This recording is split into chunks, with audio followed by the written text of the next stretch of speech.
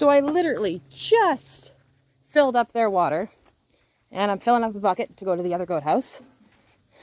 And of course, we have a lovely dummy here who decided it would be a good idea to stick her head through the fence to drink out of the other bucket when I just filled up hers. Dum dum. Hi, dum dum. So you seen our last video, and now Mom's taking the goatee out.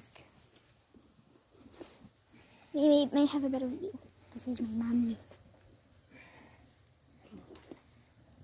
It's kind of it's kind of frustrating.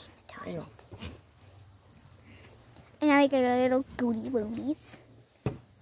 And one is probably gonna get their head stuck again.